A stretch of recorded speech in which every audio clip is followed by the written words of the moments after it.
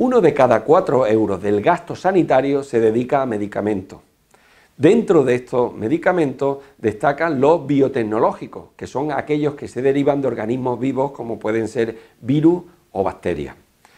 Estos se dedican además al tratamiento de enfermedades mortales como pueden ser el cáncer, la esclerosis y la diabetes y suponen un cada vez mayor gasto sanitario que afecta a las arcas públicas y a la prestación sanitaria en su conjunto. Bien, estos eh, medicamentos biotecnológicos tienen sus genéricos en los llamados medicamentos biosimilares.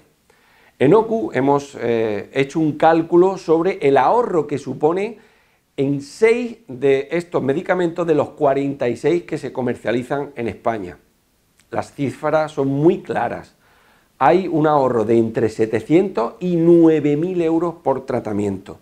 Por tanto, desde OCU pedimos que se implante de forma generalizada el uso de medicamentos biosimilares en las distintas comunidades autónomas, porque también hemos visto que el grado de utilización es muy dispar va del 47% que se utiliza en la comunidad autónoma de Castilla-La Mancha a solo el 5% que se utiliza en el País Vasco.